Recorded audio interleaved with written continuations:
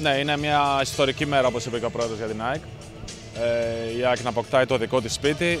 Ε, πρώτη φορά ε, ήρθα σε αυτό το γήπεδο και είναι πραγματικά εντυπωσιακό. Η πρώτη μου εικόνα δηλαδή είναι φοβερή, παρόλο που αυτή τη στιγμή δεν θυμίζει γήπεδο μπάσκετ.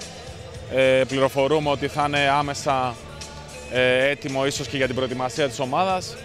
Όλοι χαιρόμαστε που θα βρισκόμαστε σε ένα τέτοιο στολίδι ε, και ελπίζω να είναι εύκολο για τον κόσμο. Σίγουρα με το αυτοκίνητο η πρόσβαση είναι πολύ εύκολη λόγω της Αττικής Οδού ε, και με τα μέσα μαζικής μεταφοράς, γενικά για τον, για τον κόσμο και ανυπομονούμε να μπούμε.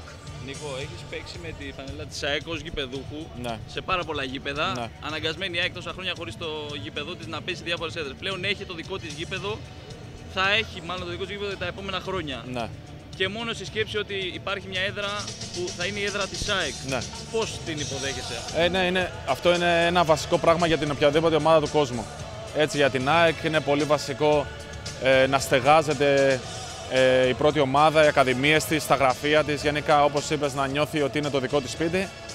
Ε, και παρόλο που είμαστε σε περίεργη εποχή λόγω κορονοϊού, ε, υπάρχει περίπτωση να το χαρεί και ε, ποσοστό κόσμου και από την αρχή. Και αυτό είναι σημαντικό και ο κόσμος να, να, το, να το κάνει αυτό έδρα ε, ώστε όλοι να, να νιώθουμε ε, ότι είμαστε στη, στη φυσική μας ε, έδρα και να νιώθουμε καλά σπίτι μας. Εσεί οι αθλητέ το αντιλαμβάνεστε λίγο περισσότερο λόγω εμπειρίας. Ναι. Όπως είπες και εσύ, ακόμα δεν είναι γήπεδο μπάσκετ το γήπεδο που βρισκόμαστε, αλλά θα γίνει. Μπορεί να γίνει μια καυτή έδρα για την ΑΕΚ. Αυτό σίγουρα. Έχει όλα τα, όπως σου είπα πριν, πρώτη φορά μπήκα στο γήπεδο και έχει όλα τα στοιχεία.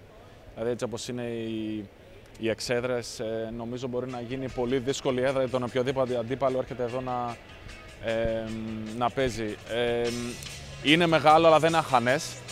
Ε, οπότε πιστεύω, όπως είπα, έχει όλα τα στοιχεία να είναι μια σούπερ έδρα.